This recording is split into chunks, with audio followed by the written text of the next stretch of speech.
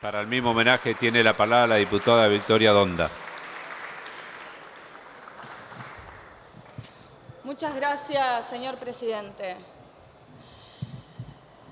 ¿Cómo resumir en pocas palabras todo lo que significan las abuelas de Plaza de Mayo para el pueblo argentino en general, pero en particular, y quiero hacerme cargo, decirlo en primera persona, para algunos de nosotros, los que estamos acá sentados y que conocemos nuestro verdadero nombre, nuestra verdadera identidad por su lucha.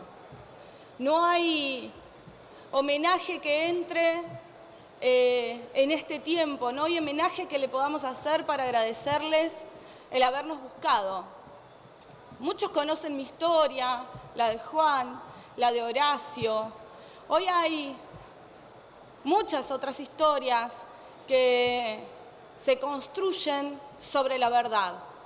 Algunos nietos y nietas tomaron un camino, otros tomaron otro, pero todos pueden decidir qué camino tomar porque las abuelas de Plaza de Mayo nunca, desde el año 77, cesaron en esa búsqueda.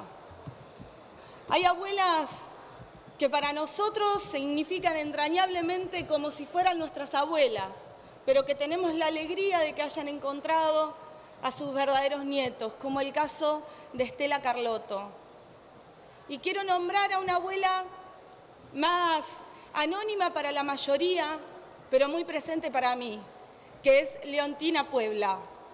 Mi abuela, una mujer muy humilde, que nació en Guaymallén, Mendoza, que tuvo cuatro hijos con un hombre que la golpeaba, que se separó, que se vino a Buenos Aires, que tuvo una hija desaparecida, que se quedó a cargo de su nietita de dos años, mi hermana, Eva Daniela, y que iba con mi hermana hasta Plaza de Mayo a juntarse con otras madres que, habían, que tenían sus hijos desaparecidos. Porque mi otra abuela, mi abuela Cookie, la mamá de mi papá, no podía ir a esas reuniones porque tenía un hijo, el hijo mayor que era militar. Ella no sabía que había sido uno de los represores que entregó a su otro hijo.